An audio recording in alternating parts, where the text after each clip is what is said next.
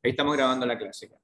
Esta es la décima clase de contenido. Bueno, la numeración puede que sea un poco eh, desigual porque hay algunas clases que ha hecho Carlos de ejercicio, entonces eh, puede que, o sea, efectivamente tuvimos más de 10 clases, pero esta es la décima clase de contenidos teóricos. Hoy día voy a pasar, eh, como el título lo indica, control digital, muy a grandes rasgos para efectos más bien de cultura general, por decirlo de alguna manera, en, en, este tipo de cosas, esto no va a entrar en los contenidos. Habitualmente no, no alcanzo a pasar esta clase, pero este semestre me ha avanzado súper bien, así que eh, traté de darle una vuelta para que se entienda un poquito más, eh, de manera más práctica. No, me voy a, no voy a andar tanto en la matemática que hay detrás, sino que quiero que entiendan el concepto solamente, porque este es un curso muy preliminar todavía como para estar pasándoles control digital. Solo quiero que tengan claro que están recién partiendo en esto y falta, falta bastante. Así que eh, la clase del día de hoy vamos a ver básicamente control digital solamente, pero antes de eso voy a eh, eh hablarles un poco de la organización de la asignatura. Eh, cosa de que nos aprontemos a cerrar el semestre sin mayor problema. Entonces, em, ¿qué nos falta? Nos falta la interrogación que va a ser el próximo miércoles 19. Eh, la interrogación son seis preguntas, cada pregunta vale un punto y les acabo de mandar una guía de preguntas tipo. Si ustedes han trabajado durante el semestre no debieran tener absolutamente ningún problema para dar esa interrogación. Así que la próxima semana lo que vamos a hacer es que se van a ir conectando y vamos a ir sacando gente al azar en una sala de Zoom reducida. Me voy a conectar yo, se va a conectar Carlos y le voy a pedir a algún colega que me ayude porque son hartos. Entonces, eh, cada uno de nosotros va a interrogar a unas 10 personas, así tenemos a todo el curso. Eh, y la interrogación no debería durar más de 10 minutos en ningún caso. Eh, esa va a ser eh, parte de su nota final de la cátedra y lo que falta también es el proyecto. El proyecto en el virtual está asignado para el viernes 21. Nótese que necesitamos algo de tiempo para sacar las notas de los proyectos y las notas finales para poder eh, decirles quiénes van a examen, que sería el examen el viernes 28. Mi intención es que cerremos el curso antes de fin de mes, cosa de que nadie quede pendiente para marzo ni nada de eso. Eh, durante estos días, Carlos les va a mandar las notas del proyecto 1 y con esa nota ustedes ya van a tener un indicativo de eh, cómo van en cuanto a condiciones de exhibición Así que eso es lo que nos queda del curso, no nos queda más materia. Y el día de hoy eh, vamos a ver control digital a efectos más bien de cultura general, como les mencionaba al comienzo de la clase. No sé si tienen alguna consulta antes de partir con la materia.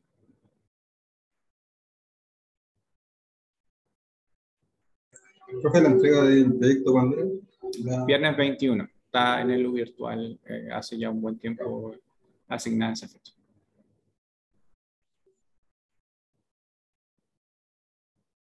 ¿Alguna otra consulta? Sí. Disculpe, ¿cuándo va a ser la interrogación oral? Próximo miércoles. Todos los contenidos pasados, ¿cierto? Vean la guía de, son todos los contenidos pasados, pero échenle una mirada a la guía de preguntas. Yo tomo seis preguntas de esa guía y se las hago. Ok, vale, profe. Ahora, si se las aprenden de memoria, me voy a dar cuenta. Pues la idea es que conversemos y yo detecte si ustedes saben o no. Habitualmente, cuando la gente ha aprendido y ha hecho las cosas a conciencia, la interrogación dura muy poquito. Y históricamente tiene mejores notas que los proyectos, así que no debiera por qué irles mal.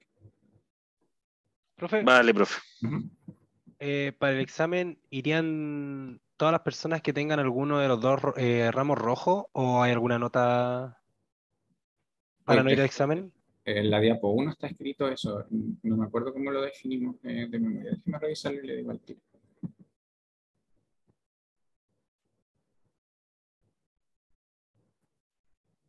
Nota igual o superior a 4 sin ninguna nota roja. Caso contrario, tiene que tener promedio sobre 5. Gracias, profe. Entonces, si tiene algún rojo en un proyecto, tiene que ir a examen. Básicamente es eso. A no ser que tenga promedio general sobre sí. Ah, profe, ahí me perdí. Es que eh, si entre los dos proyectos hay un rojo, independiente si es mayor a 4 el promedio de esos dos proyectos, igual va a examen. Sí, pues miren, aquí está la, la regla. La nota eh, son. Las notas son la nota 1, la nota 2 y la interrogación. Eh, entonces, si en alguna de esas notas mm, tiene promedio, tiene un rojo, eh, tiene que ponderar un 5 promedio completo para no ir a examen. Ah, ya, profe, es que lo que le, lo, que le entendí al principio fue que, eh, que si cualquier proyecto tenía rojo, eh, iba a examen. Pero entonces ah, no, pues, sí, es la nota que considera el proyecto. Ya, lo que yo uso es lo histórico que se ha usado siempre acá en la universidad, que es que si uno se saca un rojo, tiene que tener promedio sobre 5 peximies. Ya, vale, eh, Si tiene puros azules, puede tener promedio 4.1 y aprueba. Básicamente es eso. No sé si alguien tiene alguna otra consulta o estamos ok. Ya, entonces, estamos ok. Próximo miércoles interrogación, próximo viernes entregar el proyecto. De ahí yo creo que el lunes o martes les vamos a dar las notas, pero eh, el próximo miércoles, si ustedes tienen buena nota en la, eh, en la interrogación, sacan un 6, y en el primer proyecto tienen un azul, estarían como ya con un 70% de probabilidades de aprobar el ramo. Así que el próximo miércoles ya van a tener un buen indicador. Y la nota de la interrogación se la doy enseguida. Así que ahí van a tener la nota 1 y 2 eh, al tiro. Y ahí van a saber si van a examinar. Entonces, José, ¿me iba a preguntar algo? No, vale, gracias, profe, por las aclaraciones. Perfecto. Entonces, voy a partir con lo de la materia. Esto no va a entrar en ningún, eh, eh, no, no entra como parte de la interrogación, ni entra en el examen tampoco. Esto es solo, lo preparé solo para que tengan claro que faltan cosas. Entonces, em, nosotros hemos estado estudiando sistemas de control, eh, estudiamos la PLAS, eh, y yo creo que ya somos todos capaces de, si miramos un circuito como el que está al lado derecho de la diapositiva, un circuito de RLC, decir, bueno, yo puedo obtener las ecuaciones en el tiempo, la función de transferencia, y como tengo la función de transferencia, podría en este caso hacer un sistema de control anidado. Y ese sistema de control anidado tiene la planta de corriente, por ejemplo, la planta de tensión, y tiene dos controladores. Y también sabemos cómo yo encuentro esos controladores. ¿Hay alguien que tenga alguna duda hasta, hasta este minuto? ¿O eso está, esperaría yo que esté súper, súper claro?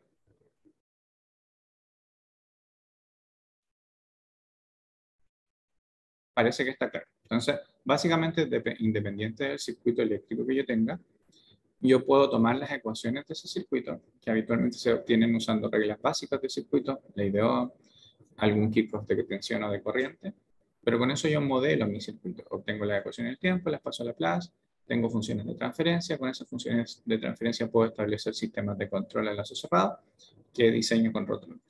Y eso yo lo puedo representar acá y si yo le doy una referencia de tensión, se supone que estoy mirando la tensión. Déjenme buscar mi lápiz eh, táctil. Por acá está.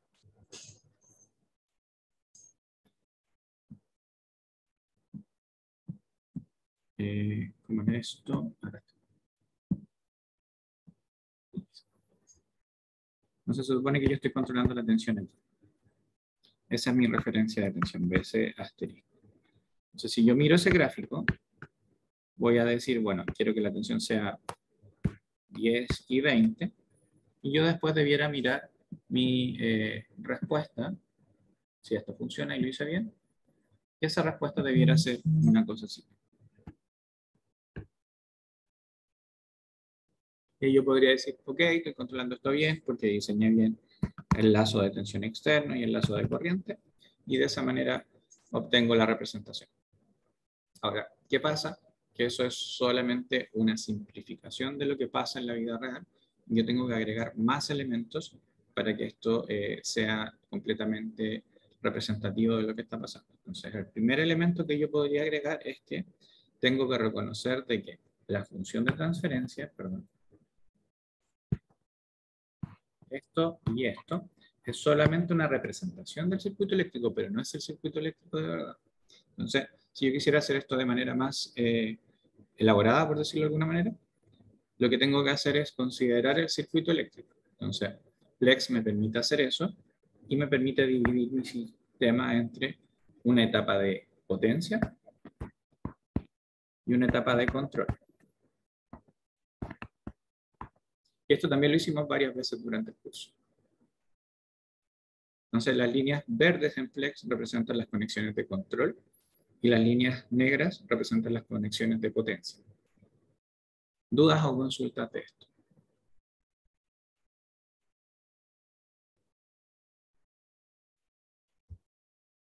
No, por mi, por mi parte no, profesor. Perfecto. Entonces, eso es lo que hemos trabajado intensamente en este curso. Lamentablemente, esa no es la historia completa. Entonces, lo que les voy a explicar ahora es la historia completa. ¿Qué va a pasar? Va a pasar que mi sistema eléctrico eh, tiene aquí una fuente, que yo estoy usando en Plex como una fuente ideal, y que tiene un sistema de control, que está aquí, que finalmente son números.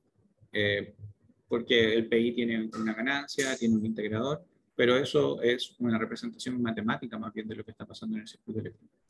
Entonces, yo tengo que agregar elementos para hacer esto más representativo aún. El primer elemento que yo debiera conocer es que este circuito de acá, finalmente, las funciones de transferencia, si ustedes se fijan, si yo elimino esta función de transferencia y esta función de transferencia, se elimina esta señal de acá, y se elimina esta señal de acá. Y lo que yo hago es que tomo la medición de corriente de acá y la pongo ahí. Y tomo la medición de tensión y la realimento al lazo de tensión. Básicamente es que las mediciones vienen del circuito y no de una representación matemática del circuito. Entonces, la medición de tensión viene por aquí. Esto no va, yo entro acá con ese medido que viene de acá. Y eso es lo que tengo cuando incorporo la potencia. Ahora, el sistema de control también tiene algunas, eh, este sistema de control así tiene algunas eh, simplificaciones. La primera es que los sistemas de control habitualmente son eh, sistemas que funcionan en tiempo discreto, computadores.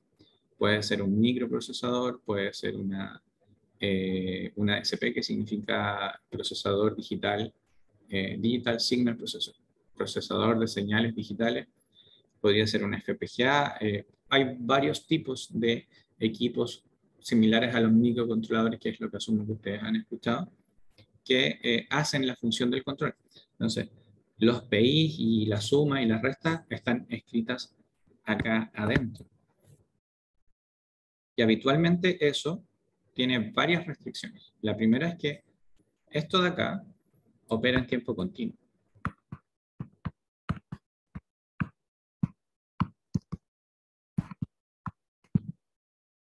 Pero las máquinas operan en tiempo discreto.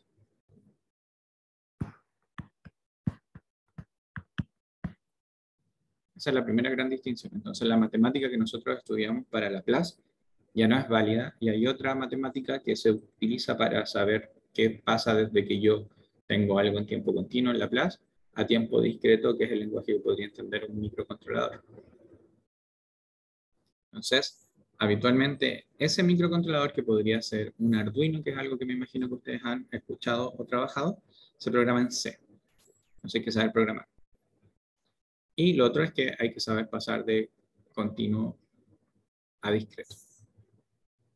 Y después viene otra consideración más que tiene que ver con la fuente. Esta fuente en la vida real es algo.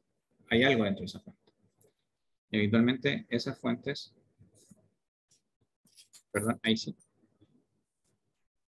Esas fuentes son eh, un equipo, un equipo de electrónica de potencia que tiene switches, podrían ser IGBT, podrían ser tipos, podrían ser otra cosa. Entonces, finalmente la historia completa, desde que nosotros estudiamos este lacito de sistema de control que se ve bien bonito en Laplace, es que yo tengo que integrar el control que va en un microprocesador y que tengo que integrar el actuador que habitualmente es algo electrónico. Y en la vida real se ve algo como eso, que es lo que de una u otra manera ustedes están haciendo en los proyectos. No sé si tienen dudas o consultas.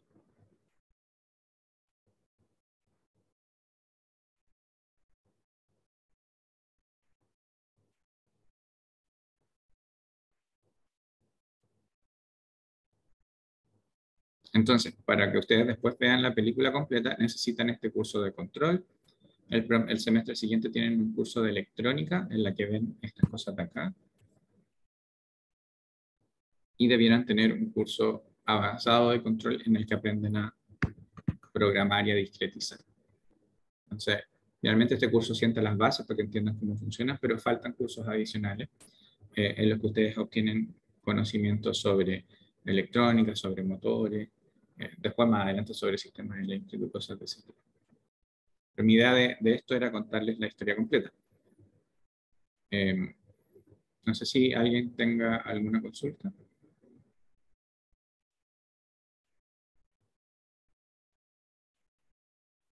Parece que no. Ahora, todo esto tiene un background, un trasfondo matemático.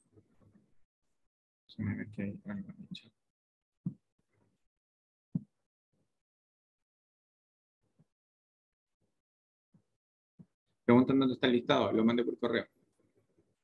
El listado de preguntas para la interrogación de la próxima semana.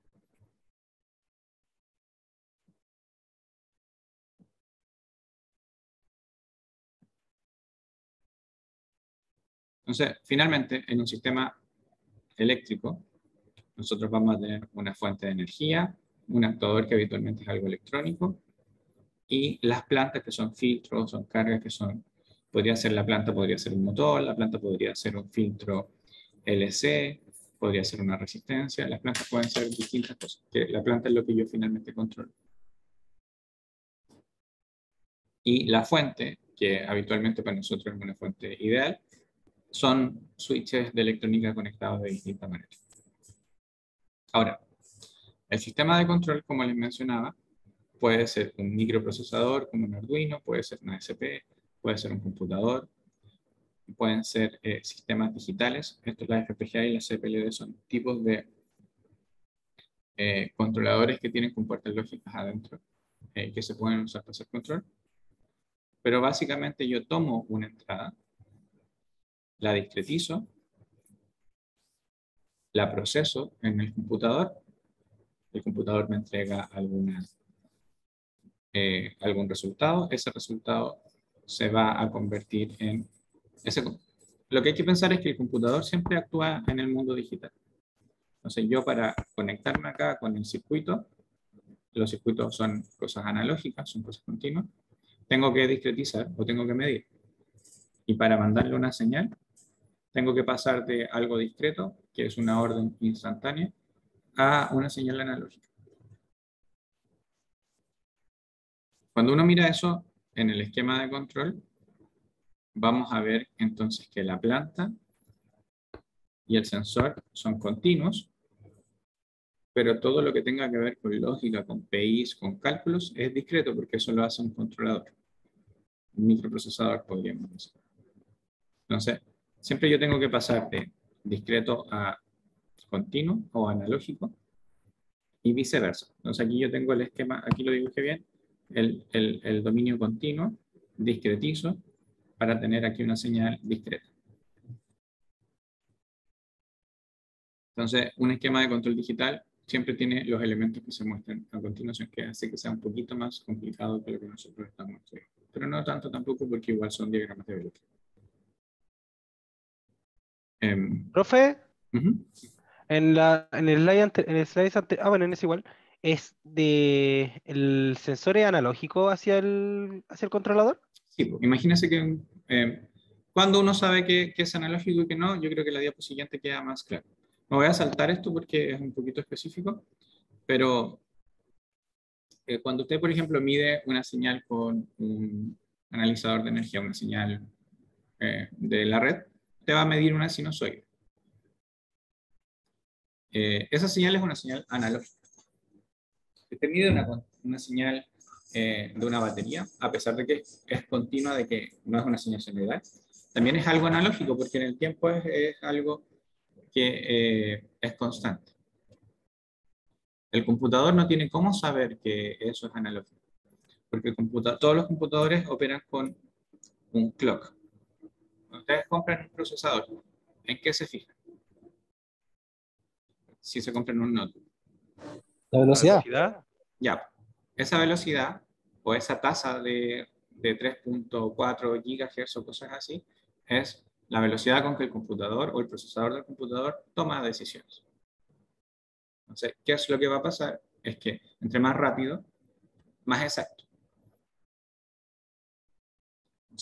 cuando yo mido una señal eh, analógica, y por eso si ustedes trabajan con equipos como PLC o variadores de frecuencia o cosas de ese estilo, siempre van a encontrar por ahí una, una tasa de sampleo, una velocidad de switching o algo de ese estilo que les indica con qué velocidad el equipo toma datos, un medidor de energía, por ejemplo. Entonces, eh, finalmente el computador funciona con una tasa de refresco. Entonces, en, eh, este, en este punto, el computador mide aquí y va a ver que la señal vale 0,6. Después va a medir acá y va a ver que la señal vale casi 1. Después va a medir acá y va a ver que la señal vale esto. Entonces, finalmente el computador lo que hace es que reconstituye una señal analógica con eh, cierta cantidad de puntos y esos puntos lo que hacen es que eh, constituyen una señal parecida a la sinusoide en este caso. Entonces, entre más rápido el computador, como lo tengo acá, más escaloncitos tengo, y entre más escalones tengo, más parecida a la sinusoide es. Si ustedes se fijan, acá tengo muy pocos escalones, y la señal es, es como bien escalonada. Pero si le hacemos suma a esto, que no lo logro hacer porque no lo grafiqué también, la señal que estoy mostrando acá es casi igual a la azul. Y es porque la tasa de sampleo es mucho más chica. Entonces, entre más rápido yo sampleo, más exacto soy. Y de esa manera el computador tiene la capacidad de saber, ah, ya está en una sinusoide de 50 Hz. Eh, y entre más rápido yo sampleo, el computador hace cálculos más exactos. Básicamente es eso.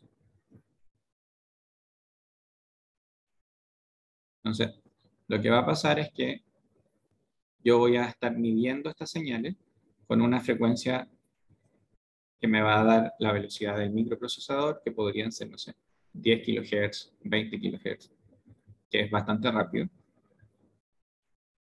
Eh, y el sensor que va a tener la señal aquí de tensión, el sensor puede ser un transformador. Aquí yo voy a convertir eso de analógico a digital y voy a tener una señal con muchos escaloncitos así, que va a ser muy parecida a la señal eh, analógica original. Siempre y cuando la velocidad, el TS, que es lo mismo que la frecuencia, una por la frecuencia, sea lo suficientemente rápido. Jaime tiene ahí una pregunta. Hola, hola profesor, ¿se escucha? Sí, se escucha, Jaime. Entonces, cuando usted habla de desempleo, ¿es como la cantidad de muestras que analiza el, procesador o el controlador? Exacto. Ah, ya, vale, gracias. Entonces, ¿qué va a pasar? Que si hay, hay maneras de hacerlo y lo estoy explicando de manera bien fácil, pero si yo tengo una señal de 20 MHz, de 20 MHz, perdón, de 20 milisegundos, que son 50 Hz, em, supongamos que yo tengo esto. Y eh, esto dura 20 milisegundos. ¿Qué pasa si yo sampleo cada 10 milisegundos? Voy a tener, por ejemplo, una muestra. Esto. a tener dos muestras solamente. Una muestra acá y una muestra acá. El computador va a pensar que está una cuestión cuadrada.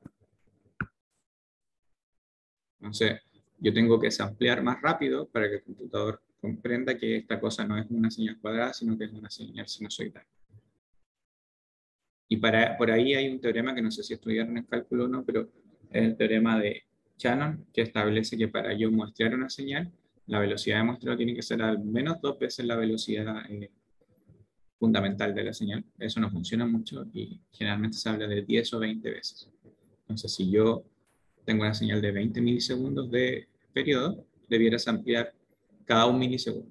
Entonces voy a tener 20 muestras y esas 20 muestras van a hacer que el computador entienda que eh, yo tengo casi eh, una sinusoide.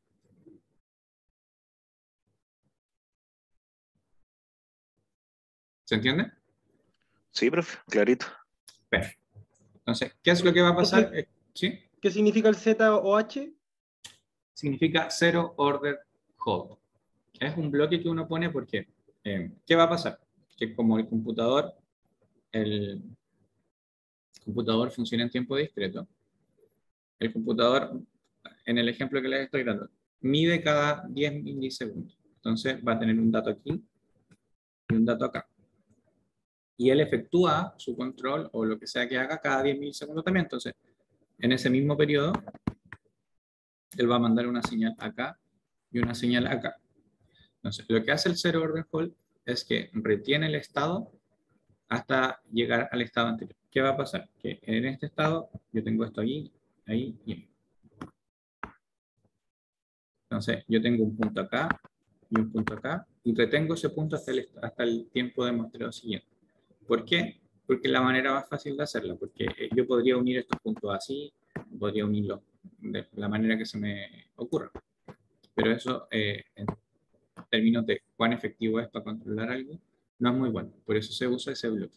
Porque finalmente lo que yo tengo a la salida de este controlador son puntos.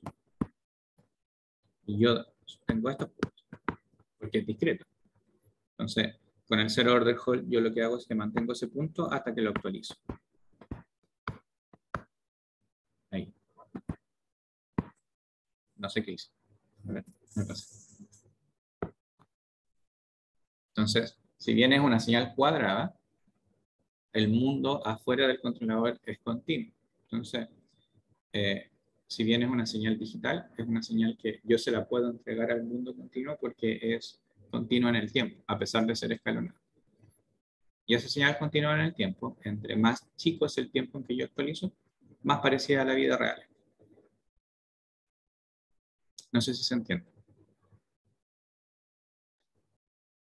Sí, se entiende algo, profe. Ahora, mi intención no es que ustedes queden expertos en control digital ni nada, sino que, que sepan que hay más cosas. Eh, eh, y esta, esta es la base de eso. La matemática que hay detrás es algo complicada, pero aquí está la explicación del zero order hold El procesador va a producir estos puntitos y el zero order hold los, los, mantiene estables. Entonces, si yo tengo estos puntitos así, el zero order hold mantiene ese, ese nivel y genera una señal que es escalonada, pero continua en el tiempo. De ahí viene el hold. Exacto.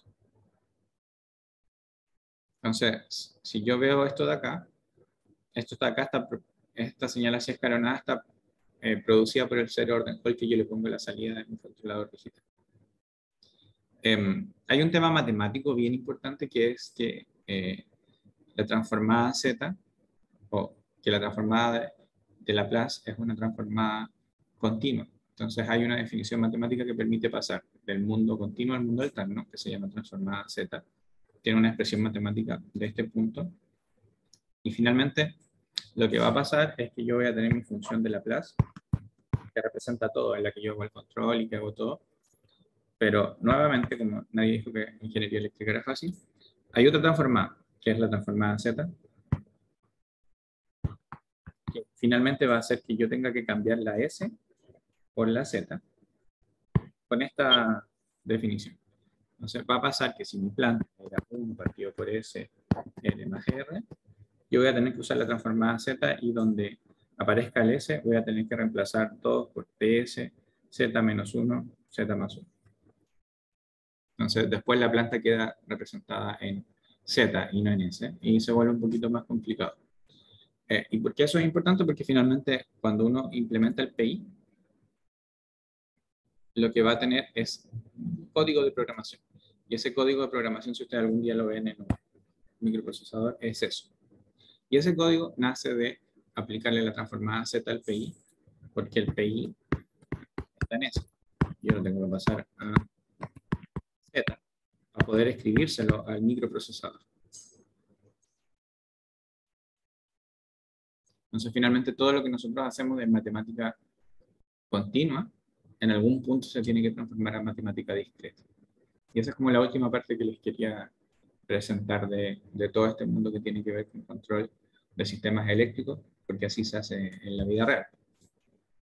Ahora, no es mi intención que se aprenda la transformada ni nada de eso, porque eso es materia de curso mucho más avanzado, pero con que se queden con esta foto, yo quedo con, completamente conforme con curso inicial de control automático. Así que no sé si tienen dudas, consultas que quieran que aclaremos.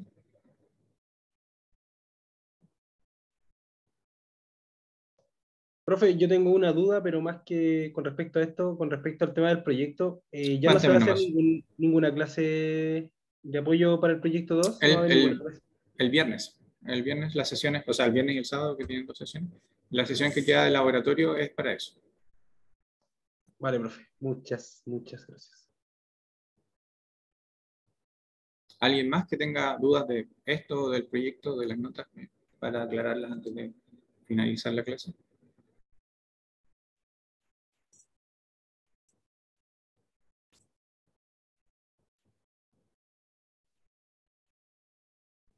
Parece que está todo claro. Bueno, entonces, la casa... ¿Sí? yo tengo una duda que a lo mejor me puede, me puede ayudar. Lo que quedé parado en el proyecto, donde tengo que pasar al, pasar al, al MATLAB la, la función de la planta de tensión. Yo el MATLAB, el uno partido por CF, que es el del condensador, eh, pongo uno, uno en, el primer, en el primer cuadrado y declaro la variable del, del condensador en el, en el segundo cuadrado en el denominador, pero al momento de, ah, generar, la función, generar la función, me da un valor, me, da un valor estático. Tiene que ponerlo así. C, C. ¿Me, me, podría ayudar? Lo acabo de escribir.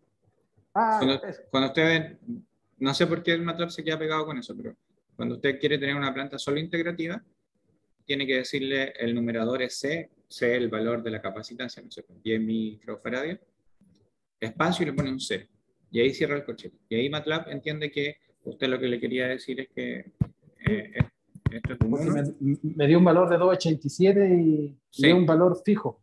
Sí. Entonces, cuando usted define la planta así como la acabo de escribir, en Plex es lo mismo.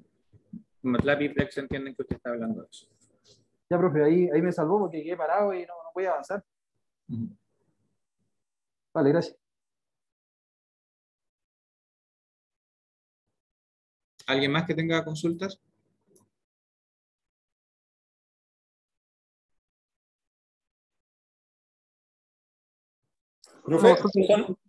Perdón.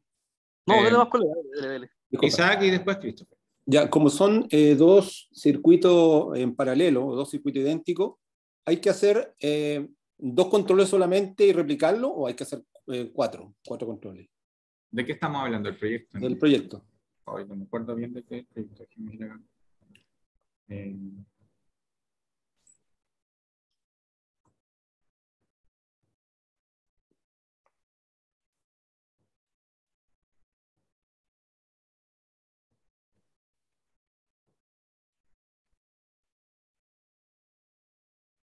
Están viendo mi pantalla, ¿no? Sí, está cargando. Sí.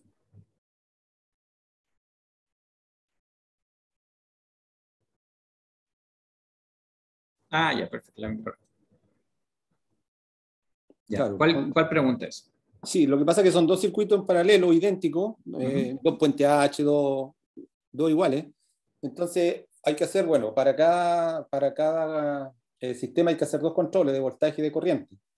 Eso se replica en el otro, ¿no es cierto? O sea, en el fondo hay que hacer dos, no cuatro, me refiero. O sea, cada uno de estos tiene un, su propio circuito o sea, su propio control anida. Entonces, este tiene dos controladores y este tiene dos controladores. Pero creo que no tienes que avanzar tanto. No, es que tengas que controlar los dos, porque cuando hay que controlar los dos hay que poner el lazo externo que los haga funcionar. Si ves, considerando un único conjunto convertidor filtro y carga desconectada. Ah, no, sí, tienes que conectarlos en paralelo. Sí, tienes que hacer. Eh, finalmente se repite el mismo control para el otro. Ya. Claro, pero en la, recién en la, en la última parte del proyecto tienes que hacer eso. Todo lo, todo lo anterior se puede hacer con uno solo, que quiere decir que finalmente tienen como la mitad de esta cosa. Solo esto. Ya, ok. Muchas gracias. Christopher venía después.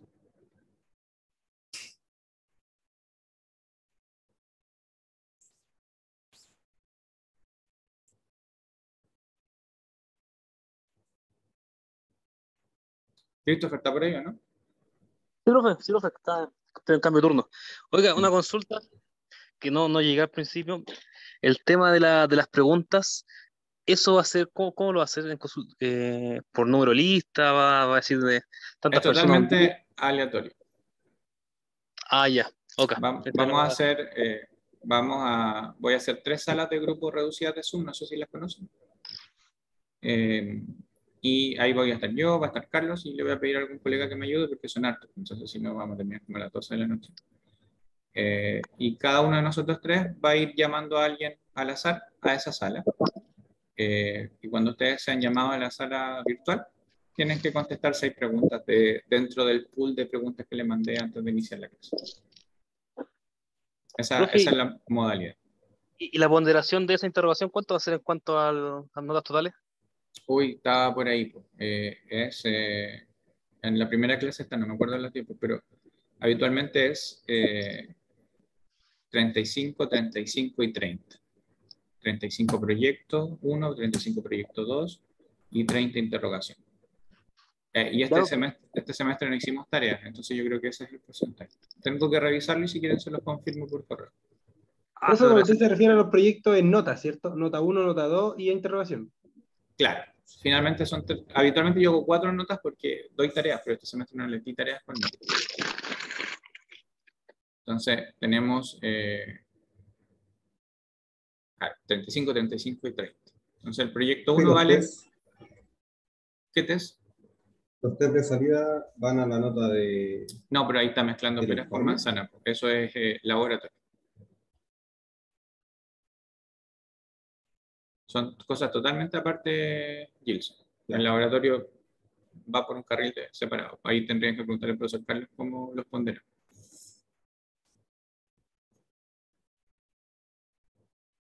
Entonces, la nota de cátedra va a ser 35% el proyecto 1, 35% el proyecto 2 y 30% la interrogación.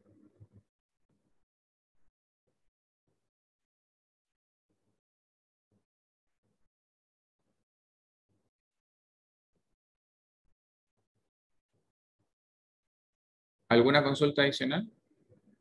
Profe, ¿existirá la remota posibilidad de que de aplazar al menos un par de días la entrega del proyecto o eso está definido ya no hay, no Es que tengo, tenemos que cerrar notas el 29, entonces ah, si no, no nos dejan, eh, si no, no nos dejan eh, revisar. Entonces ahora es bien probable que yo al menos no vaya a estar revisando sábado y domingo. Entonces lo que sí puedo hacer, si ustedes me lo piden con una semana de anticipación, es que dejamos la entrega del proyecto para el lunes en la mañana, el lunes 10 de la mañana, que es un horario en el que yo debiera empezar a revisarle los proyectos contrarios. Excelente. ¿Se lo pedimos al tiro mejor? Sí. Ahí pónganse de algo. Sí, pues yo trato de no dejarles entregas el fin de semana porque, no, porque la cuestión es de lunes a viernes. Pero en el entendido de que estamos todos apurados y eh, apretados con los tiempos, eh, no tengo ningún problema en que entreguen el lunes en la mañana o el viernes en la noche. Ahí decidan ustedes y me lo mandan por correo. Vale, muchas gracias. Vale, profe, gracias. Profe, y respecto al laboratorio 3, que la entrega es hasta las 11 de la mañana del sábado, eso lo hablamos con Carlos. Es que con profesor Carlos. ¿Ponerlo un poco? Sí, sí. Ahí yo no tengo ninguna injerencia en el laboratorio. Bueno.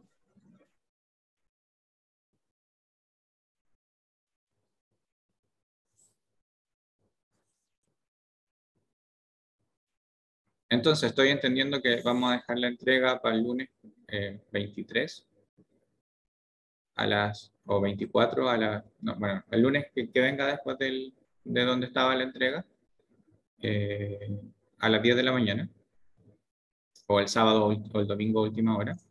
Eh, la interrogación se mantiene, la entrega del proyecto quedaría ahí, y nosotros en unos dos o tres días alcanzamos a revisar los informes para notificarle el miércoles en la noche quienes vayan a examinar. Muy bien. Profe, perdón, ¿cuándo la interrogación? Que llegue tarde. El próximo miércoles. Ok, muchas gracias. Profe, como duda, ¿el examen qué tipo de, de, qué, de qué forma va a ser? ¿Interrogación? ¿Una prueba escrita? ¿Una investigación? Habitualmente eh, tiene que, se repite la calificación más mala. No lo tengo definido todavía, tengo que conversarlo con Carlos cómo lo vamos a hacer. Eh, lo converso con él y les comento de aquí al viernes, porque no lo tenemos visto todavía. Vale, profe, gracias.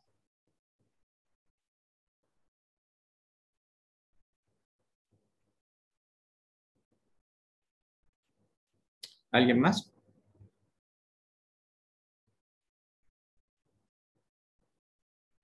Alguien está preguntando por las tareas en Moodle. Al final, este semestre, como entre tantas cosas, no, no le di tareas por Moodle con evaluación, así que eh, la nota final de la cátedra es lo que les mencioné, 35% de proyecto 1 y 2, cada uno, o sea, el 70% de la nota de la cátedra, son los dos proyectos, y el 30% final es la interrogación.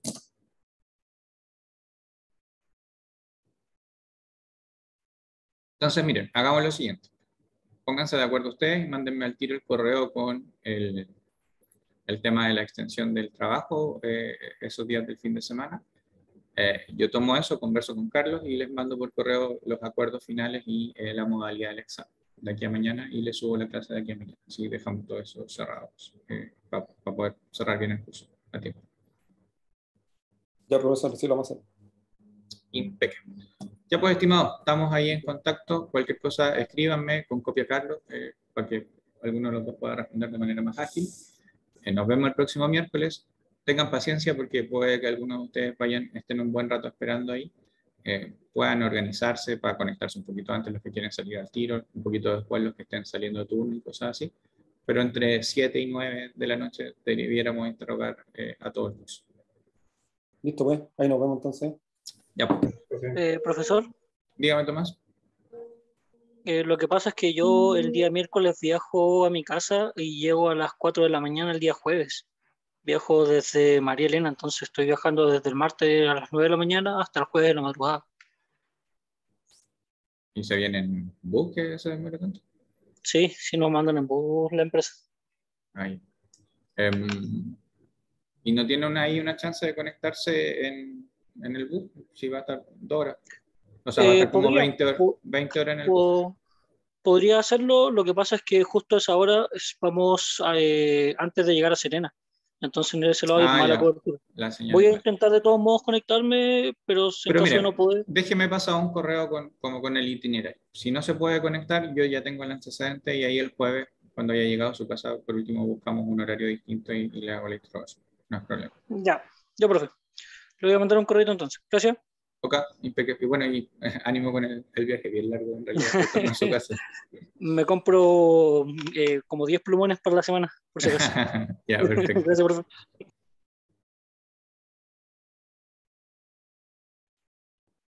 Perfecto. Entonces voy a dejar de compartir y voy a dejar de grabar también. Eh,